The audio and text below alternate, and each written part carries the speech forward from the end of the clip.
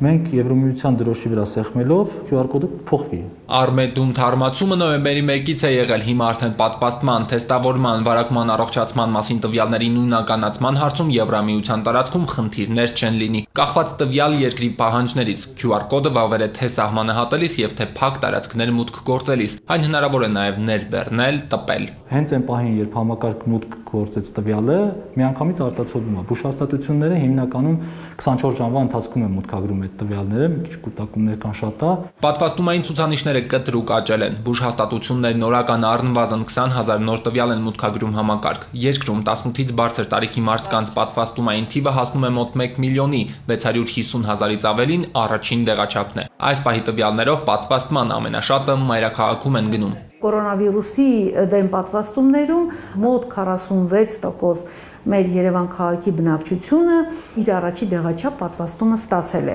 Առաջին դեղաչափի համար պատվաստումային հանրապետական միջին ցուցանիշը հիմա 35%-ն է։ Համեմատաբար քիչ են պատվաստվում Արագածոտնում, Գեղարքունիքում, Տավուշում։ Մարզերից առաջատարը Վայոց ձորն է։ Երևի թե պայմանավորված համաճարակային իրավիճակով հղիներն են գնում պատվաստումների, սա շատ լավ միտում է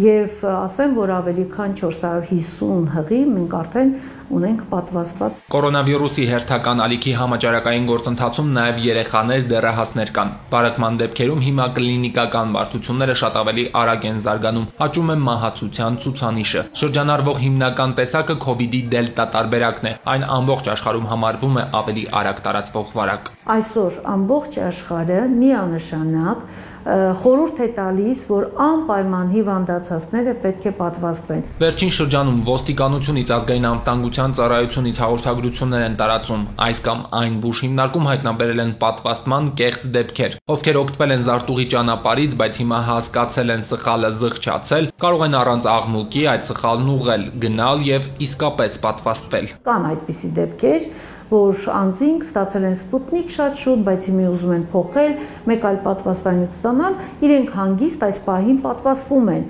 որովհետև մենք որևէ սահմանափակող կարգավորում այս պահին չունենք։ Մինչև դեկտեմբերի վերջ նպատակադրվել են 18-ից բարձր բնակչության հակակովիդային պատվաստումային ցուցանիշը հասցնել առնվազն 50%-ի։ AstraZeneca, Sputnik V, Sinopharm, CoronaVac, Moderna։ Այս պահին երկրում կա 5 տեսակ պատվաստանյութ։ 6-րդի ուղղությամբ բանակցություններ են ընթանում։ Ամենայն հավանականությամբ դեկտեմբերի վերջին Հայաստանում հասանելի կլինի նաև Pfizer-ը։